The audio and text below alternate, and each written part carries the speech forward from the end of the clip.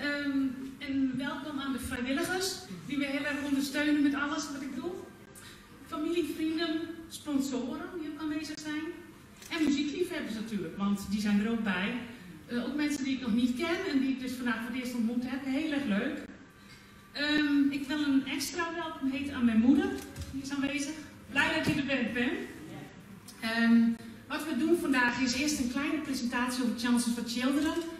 Dat is een heel klein stukje over mijn projecten die ik dus doe. Dat jullie een klein idee hebben van, ja, wat doe ik nou altijd als ik in India ben, die zes maanden per jaar. En daarna hebben we een uh, uh, muziek van de twee heren uit Varanasi en uh, de dans. In de pauze hebben wij wat Indiase gerechtjes gemaakt. Probeer van alles iets. kijk gewoon even, als het goed is kunnen jullie van alles wel even iets proberen. Dus dat je een beetje idee hebt hoe de Indiase keuken is. Ik bedank jullie vast voor de aanwezigheid hier. En uh, in welke vorm jullie mij ondersteunen, met geld, met uh, goede woorden, met uh, Facebook likes, met mij volgen, et cetera. En ik hoop dat jullie genieten van ons concert. En ik roep onze Indiaanse gasten, dat zijn twee jongens uit Varanasi, waar ik dus woon. goede vrienden van mij, hele hoogbegaafde muzikanten.